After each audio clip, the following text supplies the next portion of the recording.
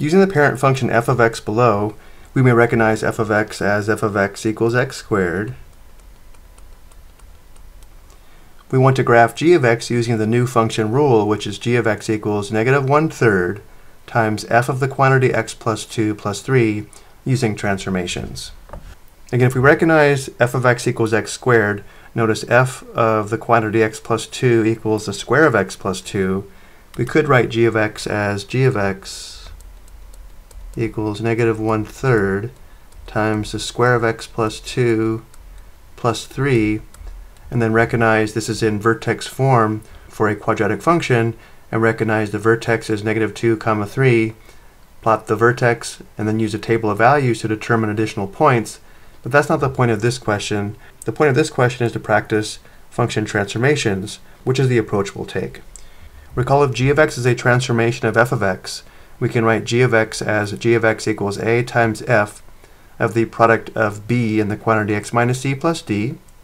Comparing this to our function rule for g of x, notice a equals negative one-third,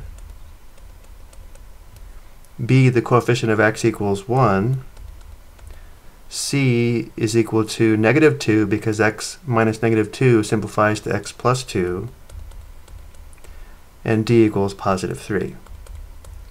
Recall if a equals negative 1, we have a vertical reflection as well as a horizontal compression by a factor of one-third. Because b equals 1, there is no horizontal stretch or compression. Because c equals negative 2, we have a shift left 2 units. And because d equals 3, we have a shift up 3 units. To perform the transformation on f of x, let's find three key points. Let's use the vertex 0, comma 0. And then because of the a value of negative one-third, let's select two points where the y value is a multiple of 3. Let's use 3 comma 9 and negative 3 comma 9. And now to perform the transformation, we'll work our way from inside out, starting inside the parentheses with the x plus 2, which indicates c equals negative 2, and therefore the graph is shifted left 2 units, and therefore we'll subtract 2 from each of the x-coordinates of our three points. Subtracting 2 from the x-coordinate of the vertex, the new vertex is negative 2 comma 0. Subtracting 2 from negative 3, negative 3 minus 2 is negative 5, giving us negative 5 comma 9. And then subtracting 2 from the x value of the point 3 comma 9.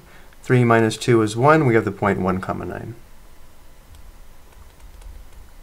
This is the graph of f of x after it's been shifted left 2 units. And this is because c equals negative 2. Again, working our way from inside out, a equals negative one-third. Again, this is a vertical reflection as well as a vertical compression by a factor of one-third. This affects the y value, which means you now take the y values and multiply by negative one-third. Starting with the vertex, 0 times negative one-third is still 0. The vertex is still negative 2 comma 0. For the point negative 5 comma 9, 9 times negative one-third is negative 3, giving us the order pair negative 5 comma negative 3.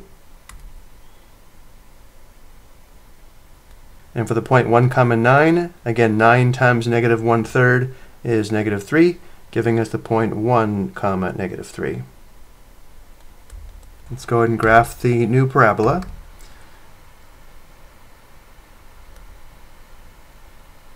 This is the graph after being shifted left 2 units and then being vertically reflected as well as vertically stretched by a factor of one third. Again, this is because a equals negative one-third. And then finally we have the plus 3, which indicates d equals 3, indicating the graph is shifted up 3 units. We now add 3 to each of the y-coordinates of these three key points. Again, starting at the vertex, 0 plus 3 is 3. The vertex is now negative 2 comma 3. Adding 3 to the y value of the point negative 5 comma negative 3. Negative 3 plus 3 is 0. The ordered pair is now negative 5 comma 0.